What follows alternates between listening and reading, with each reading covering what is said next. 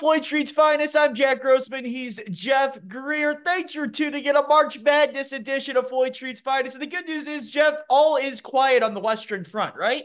No, nothing's going on at all. This is a very slow moving time of year on every retrospect. Louisville's not in the tournament. There's nothing to talk about, right? Of course not. The coaching search has been absolutely haywire. We got players in the portal. And yes, on the back end, I would like to do, you know, some final four picks and stuff like that because you you guys know me. I'm a sucker for this for this stuff. Um, but Jeff, we do need to spend, I feel like the bulk majority of our time here on the uh, coaching search. And the pivot that's kind of happened this morning and today to where it feels like the local side of things it's been a very big battle i feel like in some in some respects to where locally we've had drew deener eric crawford rutherford a bunch of different people say you know louisville's making these big offers for scott drew eight eight million eight and a half million i think is what rutherford said last week. Crawford was somewhere in the six seven million range. Say you know they're shooting their shot at scott drew. And i feel like more on the national side it's been very tempered on that with Scott Drew. So, so here's the first thing I want to ask you before we kind of get into like this shift to Dusty May and, and what what's going on there. Why has there been such a disconnect on a local and national front in terms of Scott Drew's interest in, in the Louisville job, and the chances that he might end up taking it? But I would argue before today, where it seems like things have shifted more to Dusty May. Yeah. Um, I, look, I think it, it's always going to be local versus national pretty much in any market. Um, when you've got people who know people. Um, so those those guys you mentioned, uh, they know people around town. They know they know boosters. They know uh, people who maybe work in the in the in the athletics department. Um, and and that's how this stuff happens. The national guys are, are I mean, I, I I would. The funny thing is, is like, I don't know that anybody is wrong. Uh, if that makes any sense, like I don't. Oh, I agree with that. I don't think that anybody is. It's just this is just my assessment of it. I'm I'm I, as you know I've unplugged from a lot of stuff, but um, but no, I I just think a, a lot of it is dictated by agents, um, and then you know who you know in the business because coaches all talk and um, they certainly are aware of, of all of the jobs in the carousel and who may go where. There are certain big name coaches who have been around for a while who play a role in that kind of stuff um, and maybe help behind the scenes. I, have heard some great stories over the years about, um, you know, Rick Pitino when he was in Louisville having a say in, in or not a say, but but being asked for his input uh, on certain job openings that come up uh, across the country. Ads reach out, uh, boosters reach out, all that stuff, and that and that's this business. So, um, you know, I I think probably the national guys are coming from a place of skepticism, just in general, that most coaches in the position that Scott Drew is in don't want to leave. I think it's hard for people um, to grasp, or, or because we're so used to big name hires over the years or whoever the hot mid-major coach is and, and then maybe a couple of big name coaches moving from power conference to power conference or within uh, conference. But jack the biggest thing is it seems like a lot of these guys are happy where they are um, and they're obviously getting paid handsomely. The money is really not going to be that big of a difference. So it's just a matter of do you want to keep doing what you're doing at that school or elsewhere? And i think you know when you're getting your info from people who badly want something and you're getting people uh, information from people who maybe are agents or connected in a different way you might get a different tone in the delivery of it or or the way that it's brought up that's just my uh, perspective on that Right. And there's no doubt in my mind that Louisville has been shooting their shot for Scott Drew based off of everything we've heard. Mm-hmm. Just the question's always been would that shot actually land? And would Baylor pony up the money on their end to, to make it competitive enough to to for a guy that's been there for two decades, won a national championship there, literally just had a new arena and practice facility designed to his like liking there that opened just this year. That that's a lot to pull out of a guy. Yeah, but yeah, I think the sense of if Baylor wasn't going to play ball with him, maybe that would open up the Louisville job. And we haven't heard one way or another, yes or no, but I feel like with the shift locally, on on Tuesday. I almost said Wednesday. Today is actually Tuesday. Um, but but the shift we've seen here on Tuesday locally makes me sound like okay, maybe either Baylor ponying up the money or Scott Drew maybe you know, it, it seems to have cooled on that front. And it seems like the full court press is starting to be put on more Dusty May. Hmm. Yeah, I mean, um, that certainly seems the way the wind is blowing, but that's what a that's what the coaching carousel is, right? You never it's, know. It's I mean, that's the wind. beautiful thing about it. Yeah, yeah, you never know. Um, so it, it is interesting. You know, the portal opened yesterday. Um, you've got teams that like don't have coaches. Like Louisville is getting. Uh, I saw they were enlisted for a kid from Drexel, and you know, you're you're like, well, who is making that phone call? I would assume it would be Josh, Josh or maybe Heird, they've yeah. kept, yeah, maybe they've kept some staff on uh, just to help with the transition. I'm I'm sure that that's uh, a common thing, but um, but you know, I I I there was always going to be a big fish that they would go and try to get. I always thought that that was going to be the case. I'm sure you did too, Jack, and most people out there, and and I think a lot of people thought after 2022 that that it would probably be Scott Drew. Um, you know, I, I, think there were a lot of Louisville fans holding out hope that Josh was going to try to go swing at Jay Wright and lure him out of uh, retirement. But Jay, boy, he looks great on television. Oh, he yes, he does. Happy. He he's was not, born. I don't think that. he's, yeah, I don't think he's going anywhere. So, you know, I, I think you have that big fish that you go try to get. Um, and then you're always have a, to be um, who you, you who you're really comfortable with and you like um, as, as, someone who may be more quote unquote gettable. Um, and so it's been interesting listening to the jostling uh, in the fan base and, and from people who are around the program uh, who maybe have a little bit more, um, I don't want to say educated because that makes it sound like fans are, I don't want to say educated uneducated, but maybe have a better idea pulse of what's going on.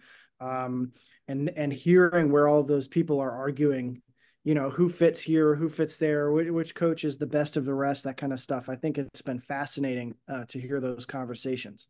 Which i think first of all before we go any farther that dusty may would be a phenomenal hire for louisville if that is indeed who they end up going with with but but um looking at can you tell me can you tell me why? I not that i disagree yeah. I, I just would love to hear your thoughts on it. I mean first of all just watching his teams play they're a lot of fun I mean, obviously, he made the Final Four run last year, and I get it. They've had some issues this year. It hasn't been perfect, but you have to keep in mind they were in Conference USA last year. They were mm-hmm. the big fish. They step into the American. Yes, I get it. Memphis kind of collapsed, but you had Memphis there. You had UAB there who ended up winning the conference title. South Florida went on that phenomenal run throughout the conference season. It's definitely a step up from where you were in Conference USA. So it's moving up a belt in conferences. It's moving up a step in competition. I'm not going to say it's the Big 12 or or the SEC by any means, but it's still much better night in night out than what you're ha- having in Conference USA. And I thought they handled that really well. They were mm-hmm. able to handle being, you know, kind of you know the the chasey instead of the doing the chasing which mm-hmm. they had that target on their back all year long they're getting everyone's best shot night in night out more often than not they're able to take those punches and win games and there's also the aspect of the season ends last year, what's the first thing everyone said about FAU and why they didn't think Dusty May would even come back to that job for this year? It's well, they're going to lose all those players to the transfer portal. How is F? How is little FAU going to keep Alijah Martin, Johnell Davis, Vlad Goldin, all those dudes? They kept the entire roster together.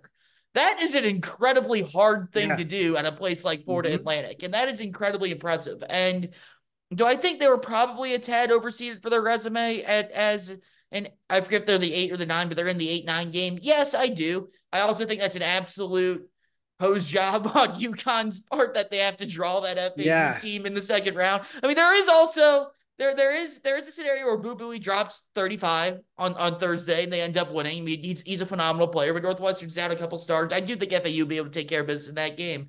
But that is as talented as a team you're going to face in an eight eight in a one eight matchup at around a 32. Yeah. And I'm picking yeah. UConn to go through that, but I wouldn't be shocked at all if Florida Atlantic won that game and went on another run. And you look at just what they did last year, how they've handled themselves this year. They did, you know, in one of the better games we saw all year long, they beat Arizona in double overtime. They played um in what was basically a true road game out in Vegas. They played you know, toe to toe with Illinois and MSG in the Jimmy V Classic. I, I like it. I think it'd be real. It, if you're not getting a guy like a Scott Drew or a Nate Oats, I, I think that's as good a guy to get. Plus, he's on the younger side. And I said this last week. Yes. Or I said this last week. I know people are worried about the Indiana thing.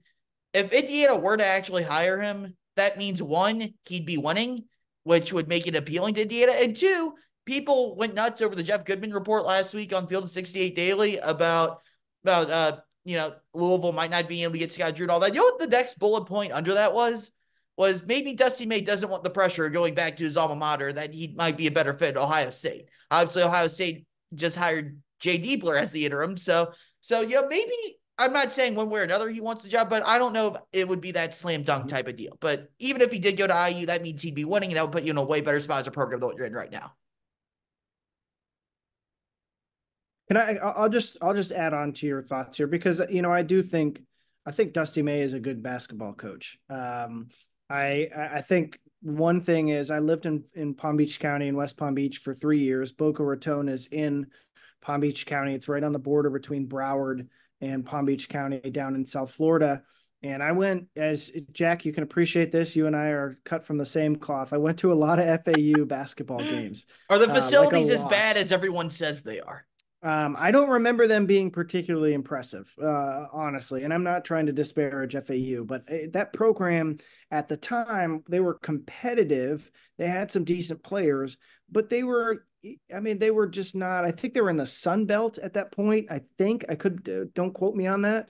Um, but just it's, it, it, it's, it's not a place for college basketball. I would go to bars in Palm Beach, uh, County. And remember, Palm Beach, you hear Palm Beach and you think of, you know, the breakers and these massive mansions and stuff.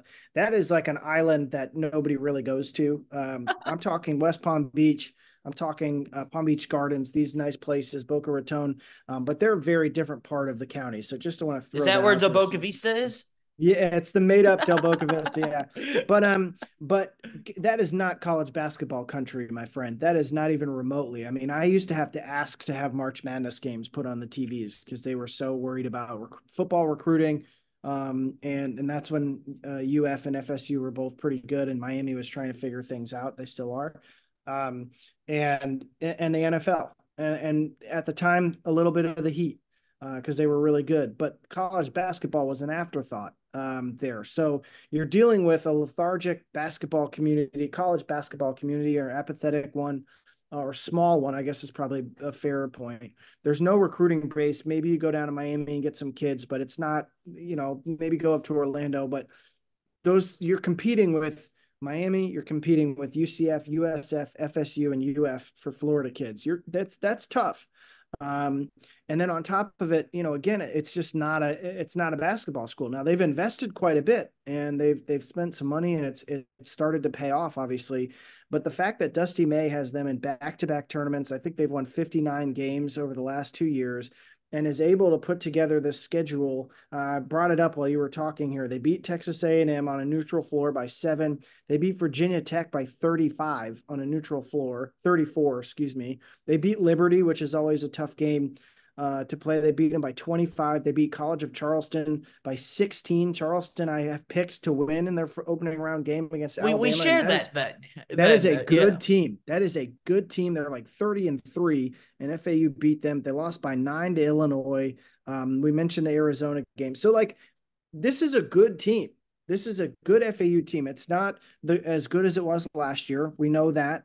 Um, the metrics have shown that maybe they're not as solid as they were last year, which is how they're in an 8 9 game. But um, Louisville fans have been aching to watch offense and an offensive flow. And like, this is that's what Dusty May is going to do. Now, here's the difference Dusty May is. Uh, you know, maybe he'll surprise us. Um, I would highly recommend you go read the profile of him in the Athletic. I think it was CJ Moore. Of course, it was CJ. CJ always does a great job on these um, profiles and he finds so many interesting things.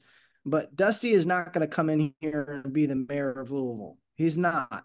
That's just not going to be his personality. But dude is going to eat, sleep, and drink basketball. And uh, to from our friends uh, around town of Benny um, of Tire. Uh, dude is, is a, a, guy that a basketball coach who has invested in your basketball team. So, um, you know, I, it may not be the Scott Drew, it may not be the Billy Donovan that people want. Um, but but Dusty May is a good basketball coach, and I think I think he's a good solid hire for this cycle. I think he's as as good as anyone that's been realistically thrown out there. There, I mean, he's you know he's this iteration of Shaka Smart is pretty much what he is. Is kind of how I would describe it. Yeah, the guy that made the Final Probably, Four yeah. the mid major, and the question isn't if he ends up leaving; it's whether it's this year, or whenever it is, you feel like he'll eventually leave, right? Like mm-hmm. like FAU's just not where you think he'll be for the long haul. And he's also again, he's only 47 years old. Mm-hmm. Like if he were to come and he were to hit, that's someone you can have for a long time.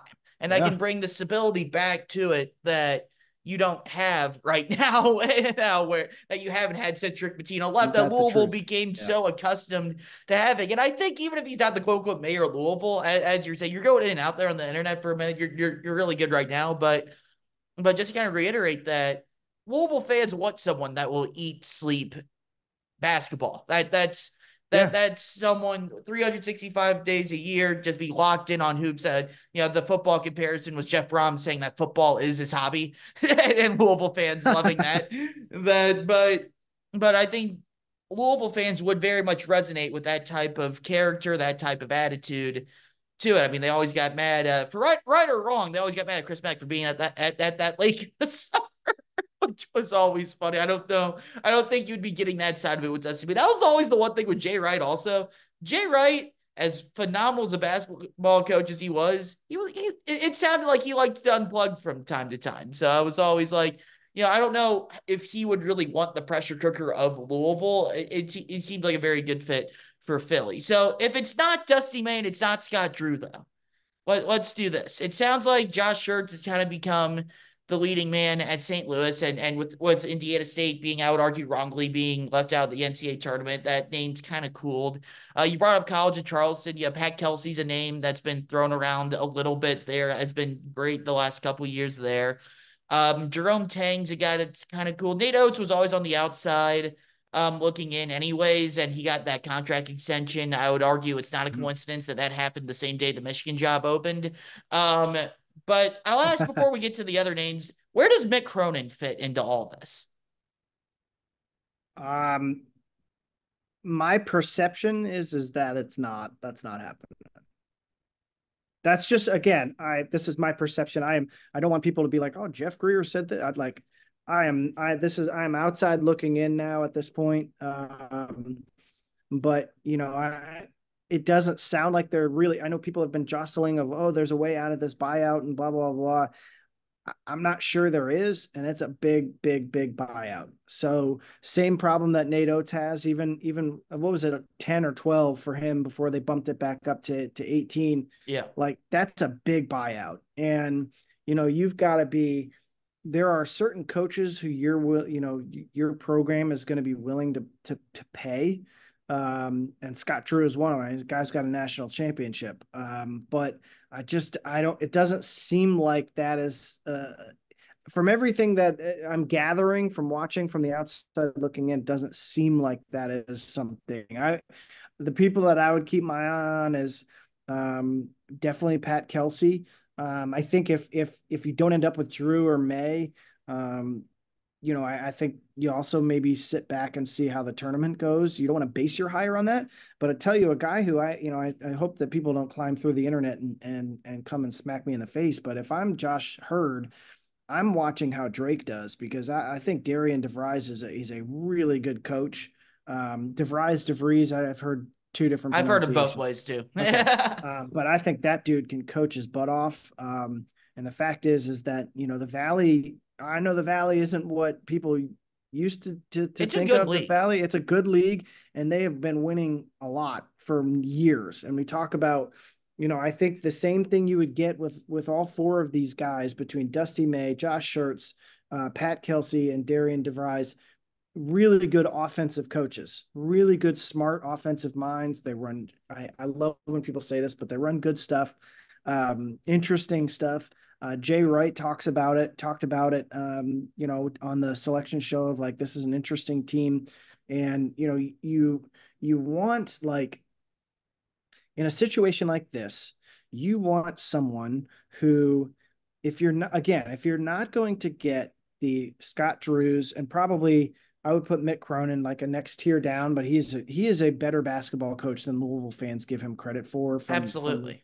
From, I think it's such a weird like I think it's the Cincinnati thing. They just don't like the the Cincinnati thing, and then kind of the way he acts on the sidelines. I think, especially you know um, when there were rivalry games with Pitino. But dude is a really good basketball coach, and um, you know you hear names like Jamie Dixon were, were tossed out a couple weeks ago. Like those guys have all had success, and they're and they would be high floor uh, type coaches but when you're looking at the mid-major types, the, the those guys who are kind of the next wave of the you mentioned Shaka, the Shakas, the Archie Millers, uh, the Chris Macks, all these guys who are in that wave of of coaches coming through. Gregg Marshall was always seemingly mentioned um, in all of these jobs before things went south for him. But um, it, it's tough. You got to pick. You got to pick right. Um, you got to pick right about among those choices. But all of those guys have reputations as really sharp offensive minds and you know, the question is, can you go get a high level transfer?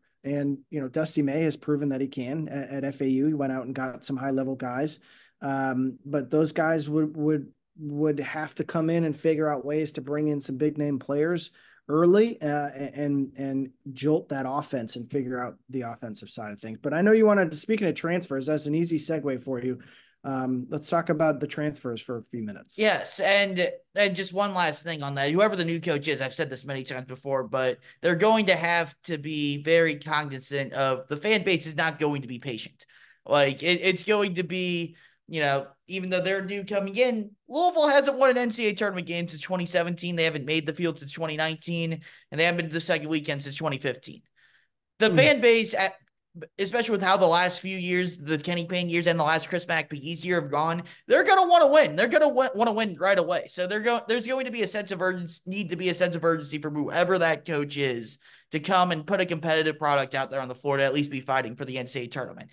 The best month of the year is here which is why you need to know that we are now partnered with BetMGM. We'll be using BetMGM lines to make all of our picks, and we'll have special offers for the listeners and the viewers of the Field of 68 all through the NCAA tournament. If you haven't signed up for BetMGM yet, you can use the bonus code FIELD and you will get up to a $1,500 first bet offer on your first wager with BetMGM, regardless of whether or not that bet hits. Here's the best part all you need to do is deposit and bet $10 of your hard earned money. This is how you make it work. Download the BetMGM app and sign up using the bonus code FIELD. Deposit at least $10 and place your first wager on any game. And you get up to $1,500 in bonus bets, regardless of the outcome of your bet. Just make sure you use that bonus code FIELD when you sign up. Most importantly, we do have some fun stuff coming for the conference tournaments and especially for the NCAA tournament. Bet insurance tokens, college hoops odds boosts, and what I love the most, a nice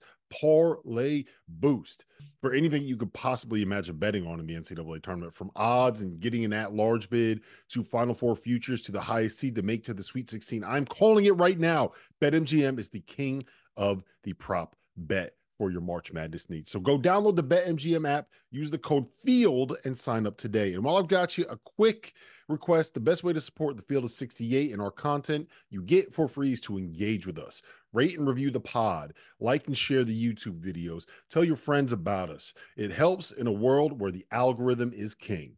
And now, back to the show. But mm-hmm. here, here's my piece on the transfer portal, Jeff. Uh, you, you've had in the last couple days Dennis Evans, JJ Traynor, Kaleb Glenn, Curtis Williams enter the portal. I'm not overly worried about it for two reasons. Number one, you went 8 and 24 the last year. Like, it would it be nice to keep some of Fair. these players? Like, is there talent on the roster? Yes. But at the end of the day, mm-hmm. you went 8 and 24 with these players. So, uh, so if you if you're able to get some of them back, not whatever. Like like the new coach will have to mold the roster how he pleases, and no matter how he wants to that, I'm good with that. Number two, and I would argue this is more important. Just because they're in the portal doesn't mean they can't come back. Bingo. And I and the example I'll use for this is after Indiana fired Archie Miller, yes, I'm using an Indiana example. I'm an Indiana grad. I'm sorry, but after Indiana fired Jackie Ar- Hoosiers over yep, here. Yep. After Indiana fired Archie Miller, IU had six players in the portal, and Trayce Jackson Davis had declared for the NBA draft. They hire mm-hmm. Mike Woodson, and num- the number one thing for him was one, he got Jackson Davis to come back out of the draft, mm-hmm. and two, he kept all six players that entered their name in the transfer portal. Yep. It, it it's a that's huge. I, and, and, I'm not saying that you know, I Karan Davis also in the portal, but I don't I don't really count him on that. But but if, I know, but but if you have end up with Right now, you got four, technically five. But you end up with seven, eight players in the portal. The new coach can come back and re-recruit as many of them as he wants to. Maybe you get a few yep. of those guys back. Just because they're in the portal doesn't mean they can't come back. So I, I'm not exactly panicking, mainly for that second reason, but also the first one when it comes to you know, oh, they have all these names in the portal. Yeah, no, I, and I, I agree, and you know, I, I think ultimately, you know, um, there's time there's time there's you know a lot of these kids are looking to transfer up um you know you hear all the rumors of oh you know there's a cold call and someone was offered 200 grand to come uh, to that school you hear you hear that stuff and and certainly um my group texts continue to be interesting but like there's going to be kids available and i know you know for fans it, like you said you know it, it the familiarity helps you got a 31 game sample or 32 game sample with a lot of these guys. Now, I mean, I know there are injuries and stuff uh, or multi year samples in the case of like a JJ Traynor guys like that. But you also have to remember, you know, JJ Traynor and Mike James have experienced a lot of basketball coaches uh, in their time at Louisville. Um, you know, the guys who came in this year played through a season of of it was it was pretty dire. Um, and so y- you want to try to keep those guys just because you know them. Um, and I think that there's lots of time for them to retain them, but also remember that a lot of the guys who are entering the portal want to want to move up. Um, and tournament teams are are are they recruiting? Of course they are. That's like the 98% of the work that these coaching staffs do.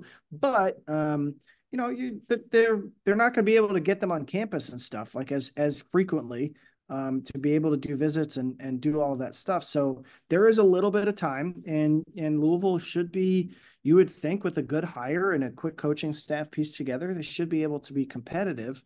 Uh, to go out and get some guys. And and yeah maybe they keep a couple of them too. And you know the coaching staff it's all about that preparation and that presentation. How do you talk through to a kid and say hey if you come back these are the ways i can help you get better. These are the ways that i think this team can be better.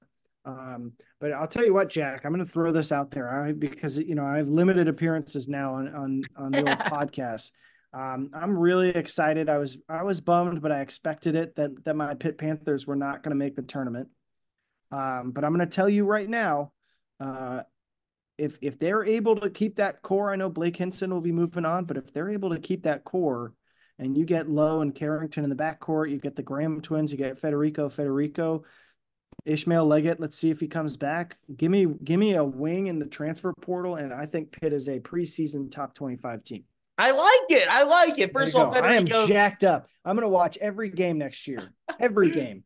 Federico Federico is one of the better names in college basketball. Oh, it's it may be the best. It's so yeah. good. It's so good. I like Chucky Hepburn too. That's Chuck. Hey, he's playing good ball now too. Yeah. He's he's he uh, looked pissed at the yeah. on the selection Sunday. Did you see him? he, he was did. like not reacting to anything. It was great. I mean, they just lost the Big Ten title game like 20 minutes prior, so it makes sense. But but I mean, that that's a big revelation for Wisconsin because he's a dude that they expected to carry a lot more of the scoring load this year, and he hasn't taken that step for the most part. I mean, AJ Storr's really filled in nicely, but but to see him come on in the Purdue game and against Illinois, uh, that could be good for Wisconsin. They drew a really really rough one with uh, James Madison though in that yeah, first round. Uh, yeah.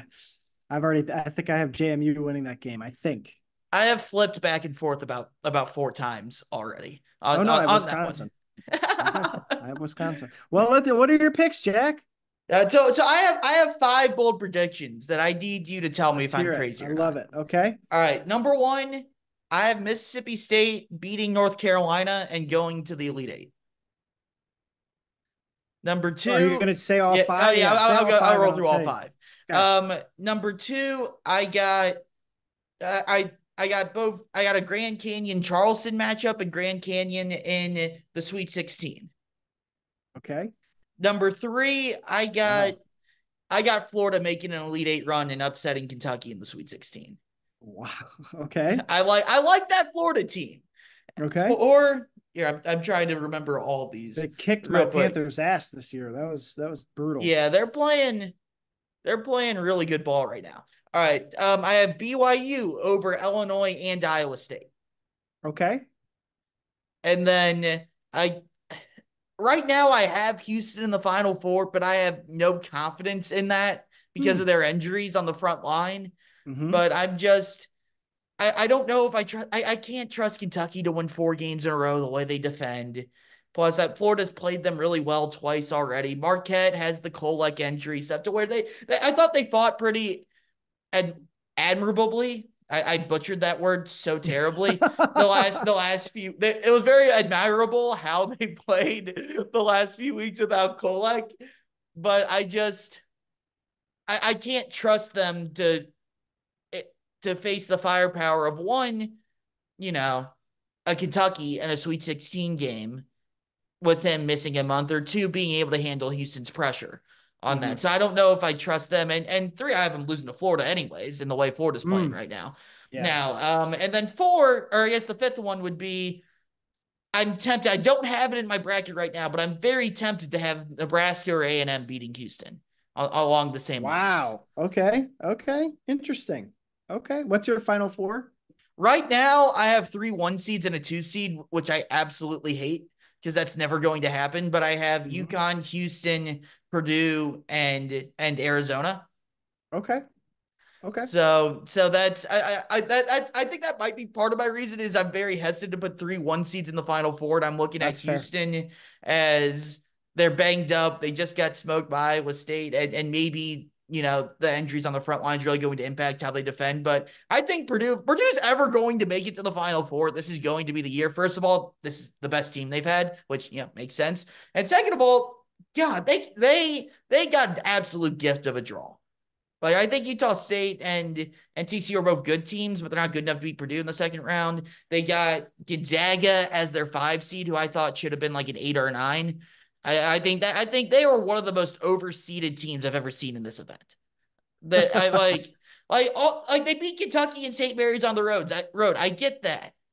That's their entire resume. They haven't done anything, and, and just Yeah. the love. The, the West Coast Conference has been a very good league the last few years, but they lost BYU this year, and St. Mary's did absolutely nothing in the non-conference. I do not understand how both those teams got five seeds. It's ridiculous to me. I, I thought the Mountain West really got screwed, and of course, I thought they did too. I know, I know everybody thinks that, and look, uh, you know, I I know that I'm biased. I I I just I don't see, and again, the eye test is is not a thing, and you know, Pitt's non-conference strength of schedule ended up being in the 300s, and that is ultimately what did them in. But I did not. I don't see how you could watch St. John's, Seton Hall, Pitt, any of those teams play in the last few weeks and be like, these aren't good enough to these, these teams do not belong in the tournament. Yep. And I know it's all about resume and all that stuff, but I'm sorry that you, you watch those teams and, and and again, I am as I am as committee i'm such a committee guy. I love the numbers. I i love the quad the quadrants. I, I love diving into that stuff. I'm on warren nolan. It's it's my most visited website on my iphone on my safari is Warren warrennolan.com Um, Mine is bracketologist.com, which is the exact Yeah, same thing yeah, as, as and- Warren Nolan. yeah number two is bracket matrix you know and, and so i'm looking at at all this stuff and and i get it. I get that the that the resumes i think pitt probably had less of an argument than than st john's and and probably seton hall but like those teams should have been in the tournament and the mountain west got screwed. Yeah. you don't you should not boise state should not be playing in a play-in game. Boise state should be playing uh, in an eight nine game. But anyway, all right, let me give you my picks here. So one, I don't think you're crazy on Mississippi State. Um, you watch a lot of Big Ten, and I think as a result, you uh, are probably going to laugh at, at at my thought here. But it, I, I'm I have the upset too, but I have it being Michigan State. And the here's, here's reason, my thing. I like Well, both. hold on. Sorry to cut Hold you off. on, hold I like, I like you. I on. like you. You know me. I'm I'm a jabbermouth. I, I, give me let me give you my picks. Um, I, I it's it's Izzo, and I know it's not. I know that he is not. Uh, that that maybe he's people have kind of been critical of him lately, and and that's fine. I I I'm trying to pick a one seed uh, early to go out, and I was debating between Purdue and um, Purdue and and UNC, and UNC has two power conference teams that metrically are are highly rated. And that is a problem. I think Tennessee may have the same issue with Texas. If Texas gets through that first round, I think Tennessee is going to have their hands full with a team that is a power conference team that has good metrics. The Rick Barnes uh, Bowl. Yeah, the Rick Barnes Bowl. Um, and then uh, the the other ones that I really um, I really like Creighton. I've got Creighton in my final four actually. Um, and I don't trust Marquette because of the injury. I also, um, I, I, think I have Marquette in the Elite Eight, but I just don't think that they can. I don't think they're a Final Four team. But here's here's the ones that I've dinged, and and maybe this is um, my life as a as a, a Pitt alum, but I don't trust anyone who gets hot during championship week and wins the conference tournament. So I've got Morehead State beating Illinois. Okay. All which right. is a hugely dangerous pick because yeah. Illinois is a lot of talent. They look really freaking good last week. Um, I also have Washington State um, or Cra- or Drake. I, I I like Drake. I keep saying I have him in my Elite Eight. Um, I don't know if I'm ready to pull the trigger on that though. So the winner of Washington State Drake, I have winning, uh, beating Iowa State in the second round. Those are the two hot uh, conference tournament winners. Um, I've got Charleston beating Alabama. Um, so I, have taken a risk on some of these, and I just don't know uh, how confident I am uh, in any of them. But the other one that I want to throw out there, Jack, is every year there's been a first four team who gets to the Sweet 16. So I've got Boise State as my Sweet 16 team, even though I know the Mountain West has not historically, uh, in the last few years, had a great time in the NCAA tournament. Fortunately for me, if Colorado does it, I get credit for the same thing in my bracket. So I don't, at least in the ones I'm picking. But our final four is pretty similar. Um, I've got Purdue and Creighton, um, or excuse me, Houston and Creighton, and um, and UConn and Arizona. So close. I think that makes that gets us three of the four same. And then I've got UConn over Houston. Um, I know it's hard to repeat. I, I actually have really liked Purdue all year. I've really liked Tennessee. And honestly, I really like UNC. So I feel weird picking against them um, early like that. But I think the biggest thing for me is like Houston has, I know they got rocked last week, but there have been so many games against high level opponents this year where Houston just kicked their ass. Oh, yeah. And I know they're not healthy, um, you know, all this stuff. But, but at the end of the day, um, I mean, they've just kicked some ass this year. So I, I think they're, I think those two and Purdue are the best teams in the country. Um, but I just, I, am kind of in my, I, I feel bad because I, and I know you're an IU guy. Yeah. I'm rooting for Purdue. Like I want Purdue to win it all because I like teams that get this moniker of they always choke. Villanova used to get that. Florida used to get it. Then they went on their little runs. Uh, Virginia, of course, did it. And I know Louisville fans was probably painful to hear that it's like, oh, I thought it was kind of nice that they finally won a title. Um, there, there is there is some irony though. Like Virginia loses in 2018, then mm-hmm. in 2019 they get put in a region with when you think of you know the quote unquote choke artists of March, they get put in a region of Tony Bennett, Rick Barnes, Matt Painter, Fran McCaffery. then Purdue goes out loses to a 16 last year, and this year mm-hmm. who's in mm-hmm. their region? Mm-hmm. Rick Barnes, Tony Bennett, and Texas, who no matter who the coach is, always chokes. I love it. it feels like. I love it. So it is kind of kind of funny how that happens. yeah, I love it. Well, I will. Um, it, it's funny because I before the bracket was revealed. Um, I and I have proof of this. I have receipts if you need it somewhere. um, but I, I I had been saying two coaches who I think would be really interesting hires for Louisville if it got to the to to that point where they were looking at these, or Kyle Smith and Darian DeVries, and are playing each other in the first round uh, with with Washington State and, and Drake. And um, but I, I like I, I I really liked them before the tournament started. I'm disappointed that they're playing each other. So that's probably the game that I've struggled with the most out of every out of every pick.